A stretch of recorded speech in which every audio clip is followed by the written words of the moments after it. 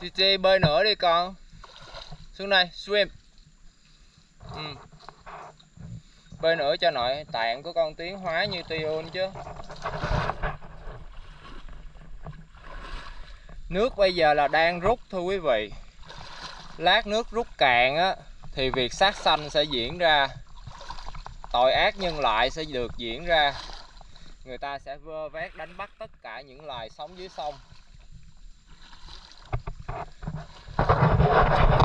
Các vị Bồ Tát đến với em, ủng hộ em, phóng xanh á.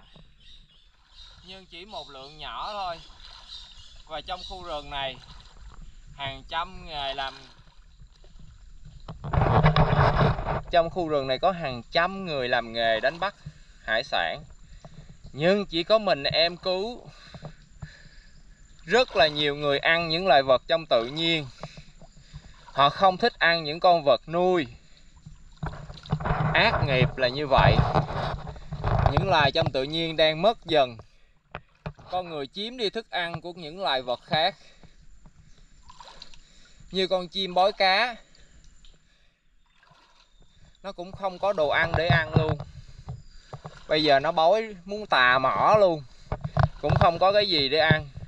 Bởi vì mấy cái ghe đi te nó te sạch.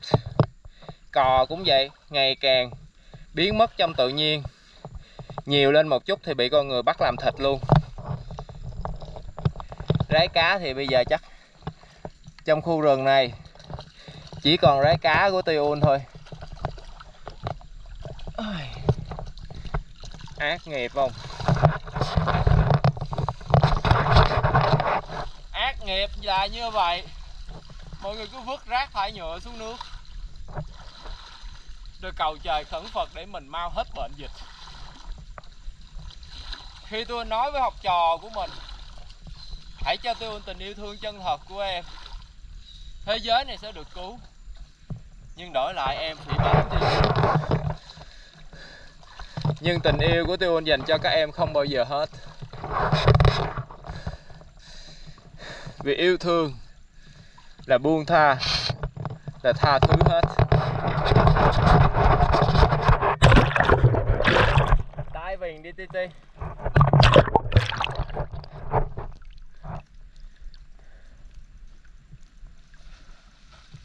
tí tí. Ra đây có khu vực của người rồi nên rái cá nó sẽ bỏ đi. Ghe tàu chạy lắm. Hỏi làm sao mà khu rừng này còn rái cá.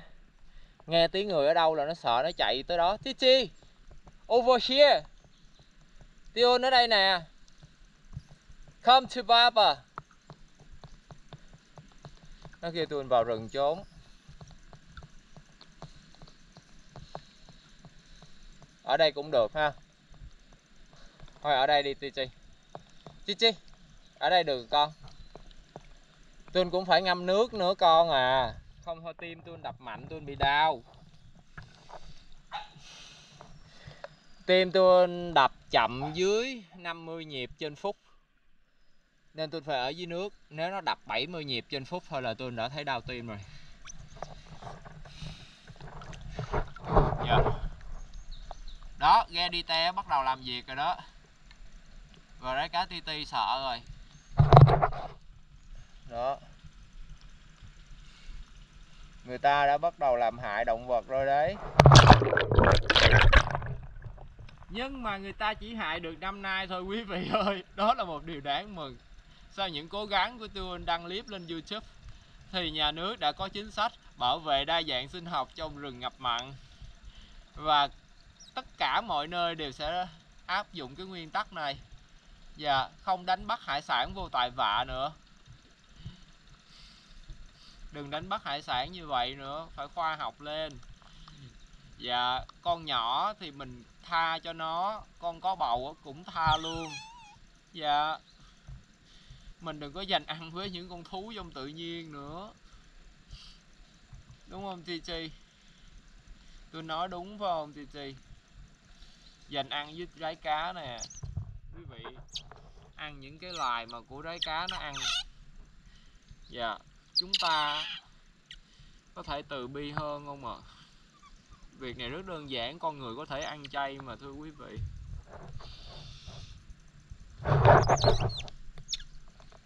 Ti Ti à. À. Nó kêu Tion là hãy đi khỏi nơi này. Dạ em hiểu ngôn ngữ của rái cá. Nó nói gì em biết.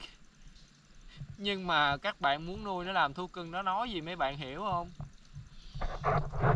Không hiểu nó làm sao nó ở bên cạnh các bạn được. Tới lúc nó án hận nó cắn các bạn. Rồi các bạn đập đầu nó chết hả? Hả? Đúng không Honey Thôi, ờ, thôi ở đây bơi ha. Thì con muốn đi về. Dạ Chuẩn bị đi phóng sanh rồi. Bây giờ em sẽ cho nó về nhà nghỉ ngơi Tại buổi sáng, nó dễ bị con người tấn công lắm. Dạ Con người buổi sáng đi đánh bắt dữ lắm. Nên cái nhà em Là một khu bảo tồn mini cho rái cá. Đây, Chú rái cá phóng sanh đây. Phóng sanh rái cá cũng là rái cá phóng sanh.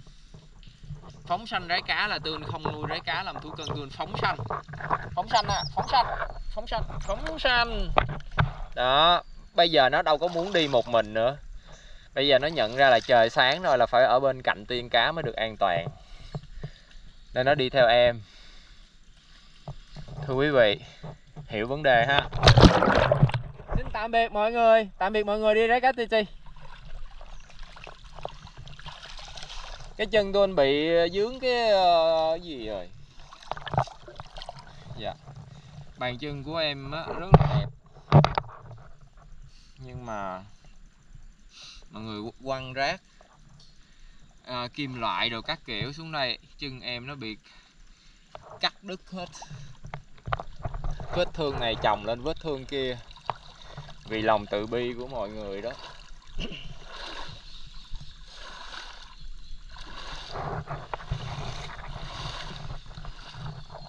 Yeah.